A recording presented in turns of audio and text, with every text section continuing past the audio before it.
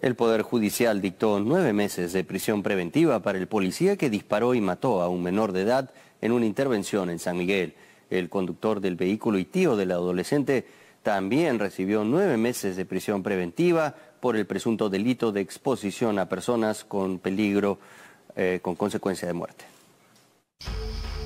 Informe pericial balístico forense fue determinante para que el Poder Judicial ordenara nueve meses de prisión preventiva en contra del suboficial Clever Quintanilla Coragua por el presunto delito de homicidio en agravio del menor de 13 años que fue abatido el fin de semana durante una persecución policial que se inició en el Callao y terminó en San Miguel. Según las investigaciones, uno de los dos impactos que recibió la víctima habría sido perpetrado desde el arma de Quintanilla. En la cuadra 22 de la avenida La Marina se hallaron 11 cartuchos de bala, los cuales también los habría ejecutado José Estela Puelles, agente de la comisaría Playa Rimac.